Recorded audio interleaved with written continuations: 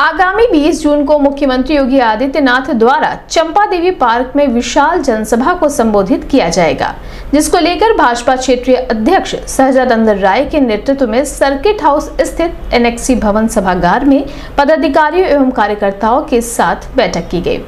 बैठक में जनसभा को सफल बनाने व मोदी सरकार के सफल नौ वर्ष के कार्यकाल को जन जन के बीच ले जाने व आगामी लोकसभा चुनाव के संखनाद को लेकर विस्तृत रूप से चर्चा की गई।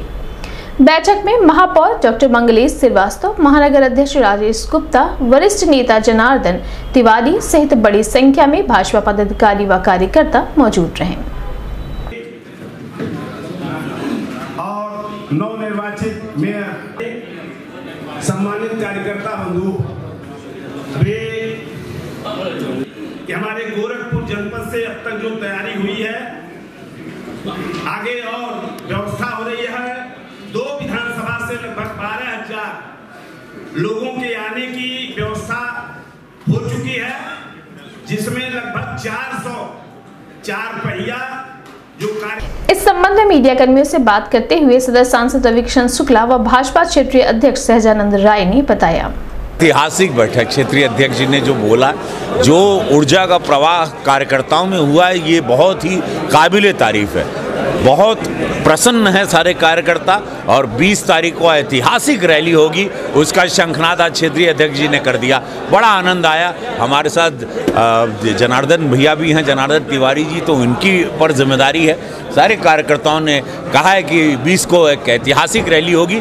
आज के संवाद से सब में एक अलग ही ऊर्जा का प्रवाह हो गया। 24 का बिगुल फुका गया जिसको कहते हैं। क्या लगता है कितनी भीड़ अब अब हर हर महादेव बहुत मुझे लगता है एक सैलाब आए। आप सब पहले से विदित है भारतीय जनता पार्टी संपर्क महाअभियान। हमारे देश के नहीं, दुनिया के सर्वमान नेता माननीय नरेंद्र मोदी जी के सफलतम नौ वर्ष पूर्ण होने पर भारतीय जनता पार्टी संपर्क महाअभियान के तहत अपने अलग अलग फ़ेज़ में कार्यक्रमों को उन्होंने तय किया था। लास्ट फ़ेज़ में भारतीय जनता पार्टी ने सभी लोकसभा स्तर पर एक रैली का आयोजन किया है।